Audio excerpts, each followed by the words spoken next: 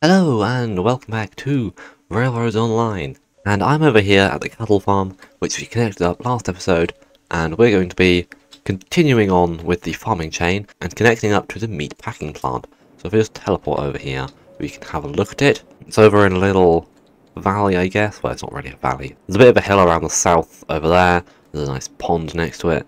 It's just this big building. It takes cattle and it takes coal. And then it gives these boxes of corned beef. There's also been an update since the last episode, and they've added a new locomotive, which I cannot afford, but they've more importantly added the ability to fly in the re-rail menu, and I believe also in your building track, you can now fly, which is going to be really useful, especially considering the fact that the most recent update also broke Railroads Online Extended, which has been unsupported for a couple of months now, I think, but it now has finally actually stopped working entirely, which is rather unfortunate, but this ability to fly does somewhat make up for it. But anyway, I started building this track over here, and this is going to go to the meat packing plant fairly directly, and it goes under a bridge. This is the track that is coming down from the coal mine to join on to the oil field and logging camp. This is actually the track that I will need to take from for the meat packing plant, because it does also need coal. That's interesting, that might be useful. But anyway, I need to get this track over this way. We're going to have to come round to the side a bit here, um, just so that I can come down the gentle bit of hill, and then we're going to come in to the meat packing plant, which is, which is down there, from this side, because we can't really get down that big hill, but we can get round the smoother bit. There's also an annoying amount of like water and stuff around here. Can I press space? No, but I can hold S.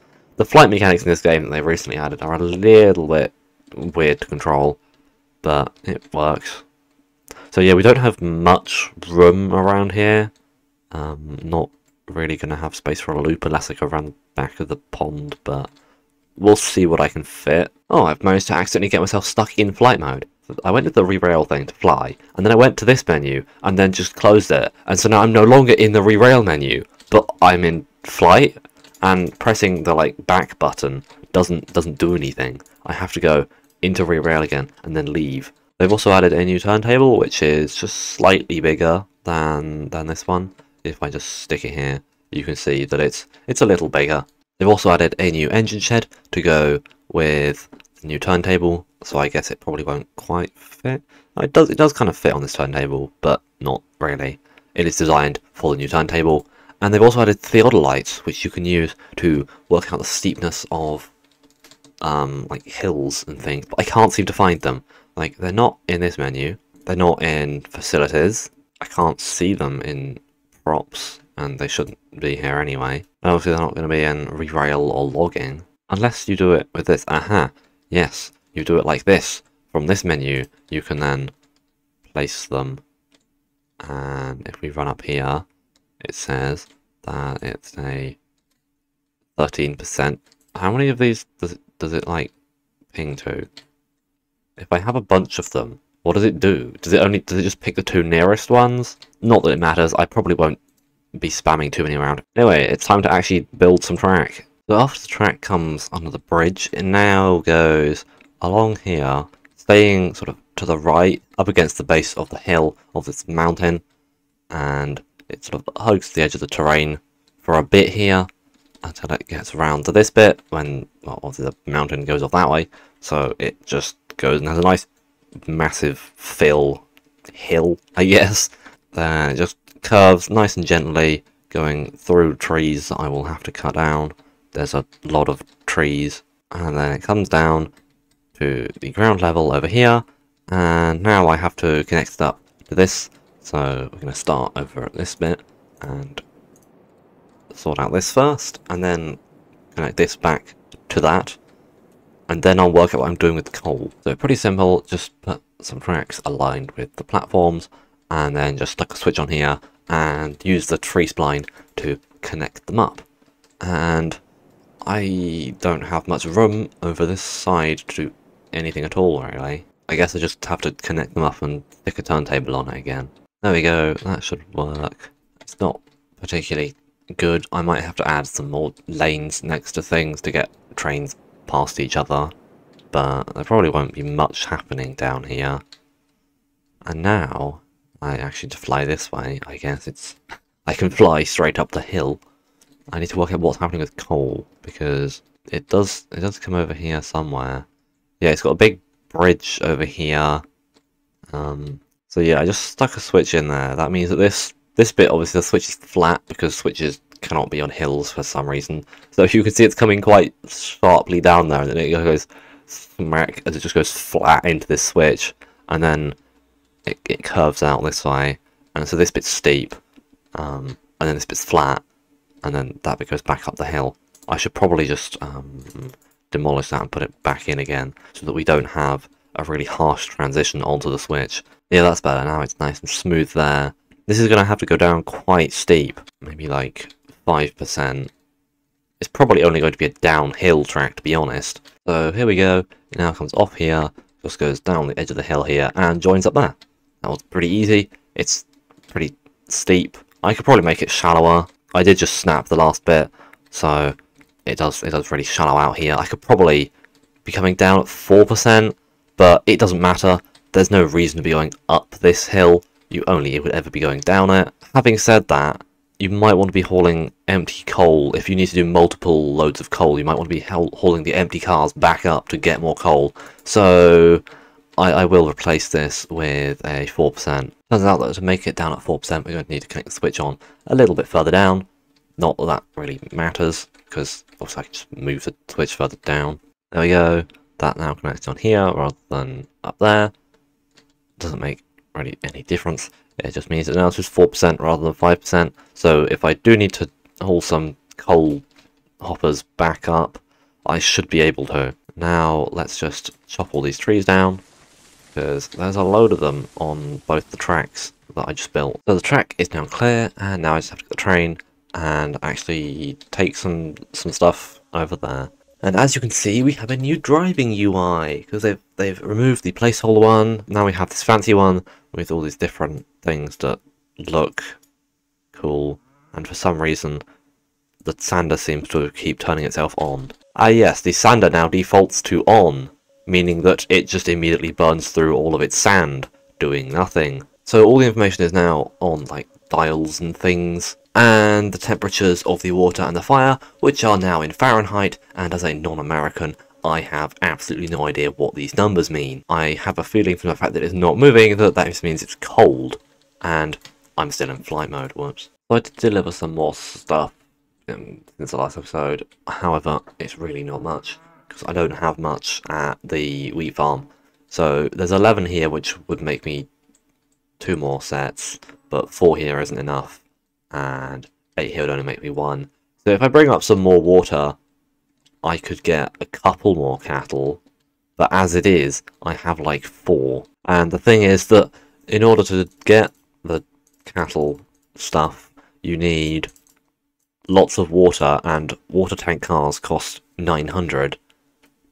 And then you need the the bulkhead flatheads, which are tier 3 and cost 275 and you need box cars which are 950 just to deliver stuff that costs like 60 per car. It's like you do not get much money for the amount of product you get. Like the product, it produces very few cows, pays you very little, and the setup costs are huge. Like I can't afford another of any of them because I just don't have the money. And the only car that takes cattle costs 950, so I can't even get that. I guess I just have to spend ages delivering loads of stuff here in the hope that gets me enough money to be able to deliver like four cattle. So for some reason it's decided to put all the cattle that I got into this one. So we had two and two before, and now we have two and eight after I did some deliveries. It's not much more, but we'll see how much the cattle car can actually store because I have no idea how much capacity it even has because obviously it doesn't tell you until you actually start loading it. So if I tell this to, to load, what happens is the cow just walks up this. Um, I may not have aligned it perfectly, hopefully it doesn't mind. Okay, good. It, it doesn't. Oh, it only takes six. Okay. Um, I guess we'll need more of these then. Not that I can afford them right now. Let's grab four from this one as well. Um, so we can fill up the cattle car. So yeah, we've got two. Now we just stick a couple more over here. And somehow... Oh, it's filling through at time. So yeah, six just stand in the car like this. Yeah, that's kind of funny. They just stand there. I'm going to shut the door for realism, although the game doesn't actually care. You could just leave the door open. It's not like the cows are going to run off. And now we have to take this down the new track to the meat packing plant where we're going to deliver the cows somehow. I don't know how that's going to work either. They're probably just going to, like, get teleported outside. Because when you deliver normal things, they are like, the product just teleports to hovering next to the thing that you've the, car you got out of it just like teleports next to it and drops. I don't know whether they're going to do that with cows or whether they're going to like turn into a cube or something because that, there are some things in the game that do that. This track so far seems nice and smooth. It seems fairly gentle as well. I mean it's 2% so it's not particularly steep. I've just put a 2% brake on. We're going pretty quickly but there's no sharp corners. It's a bit wobbly there and then it's just very long curve as it spins back round to get to the meatpacking plant. So it shouldn't matter that we're going this fast. Hopefully the switch will be going the right way. It should be because I think it was a left switch and we're going right and I didn't touch it. So it's um it's not, it's wrong. Oh wow, we stopped really quickly. They've also changed the way that switches work. Like, I'm pressing left here, nothing happens. You used to, like, drag it to the side. Now you click right to move it right, and you click left to move it left. Except that that only works if you're standing on this side. Um, this is this is right click, and this is left click. But if I go to this side, this is left click, and this is right click, which is just confusing. So we need to put the cows in here. Let's just line this up nicely. There we go and open the door and then let's see how they unload. Do they just walk back down the... No, they just get teleported outside. That's exactly what I thought they would do. They just they just magically teleport outside. And so now we have six cattle in here. And now we need to go and grab a bunch of coal. And it takes up to a thousand. So I'm coming back to the meat packing plant with some coal. And I don't know how we're going to deliver this because there's a whole load of like buckets here and I don't know whether it will just accept it going into any of them. I guess we find out. Yeah, that just works. I also took the other cows so that we would have 10 in here. I guess we can see the ratios because I brought 44 coal and 10 cows. So it's taken another cow and I would assume another piece of coal. Yep, I fell down. And so far it's made four boxes of corned beef. It's taking one of each input and producing two of the output, which means that we should make 20 of these, and what do we need to transport them back in? Oh, we need a specific ventilated boxcar. Nothing else will do. Well, I might as well buy one of those, and we can deliver that this episode and finish off this chain. So here is the ventilated boxcar that we have to put the cans of meat in, and that is not grabbing the cans, that is grabbing the floor, but it works anyway. And so those go in here, and we can take 36, okay. So yeah, the, the 20 we have is definitely going to fit in this. So, there we go, that is all the cans loaded into this car. I think that is it for the industry chain. We can just take these back to the freight depot and sell them.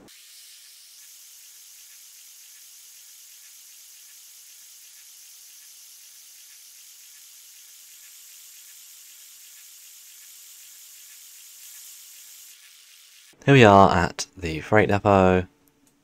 Uh, we can stop there and get out and unload this and do that and then they just pour out like this. Wow, those were not worth much at all. From that load of 20, I got a total of 400 money. That means that each box is is worth 20, which is not very good value considering the amount of money that it cost me to start up that industry chain and the amount of water that I will need to deliver to get any more farming chain, not particularly valuable. But anyway, next time we will not do this chain. We will go and start the the newest of the new industry chains, which is the gold chain, which sounds at least far more valuable. But thank you for watching. Don't get distracted. Go subscribe now, and until next time, goodbye.